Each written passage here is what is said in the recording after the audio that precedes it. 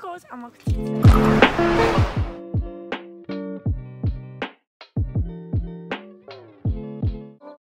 Today's video is going to be me showing you how to do a front handspring on the trampoline.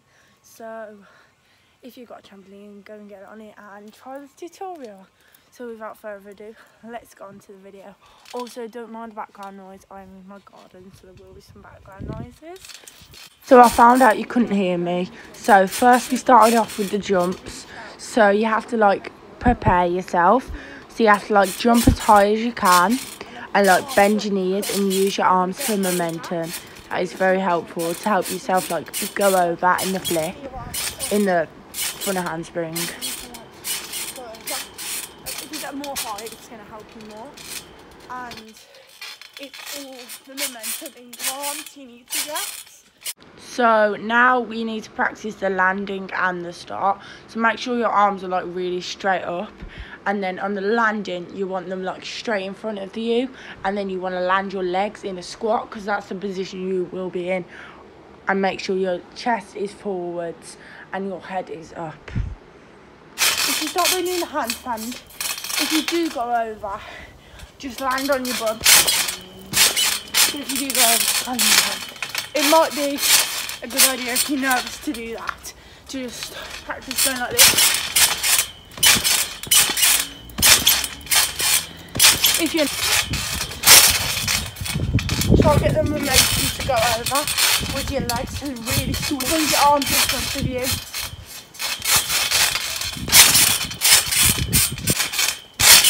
Oh no, my You need to um, get like the coming up. So your legs need to go over. Bend when they're like nearly touching the floor and then like on the floor. So imagine my arms on my legs and then land. And then just land in this and get all the momentum to come up. Like face your body from up to down. Try and get yourself up. That If you get all the momentum you can, then that'll help you a lot.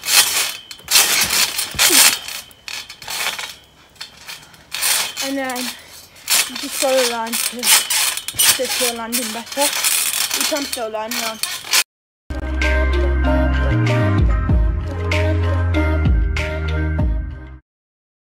I get lost inside my thoughts and when I start to think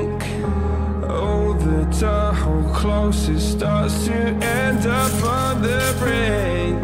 I tried so hard but all these scars they cut so deep I bleed. I fell so fast from heaven. It's like someone clipped my wings. Now I'm that is it. If you want to see more subscribe, uh, if you want to see more tutorials, comment in the description.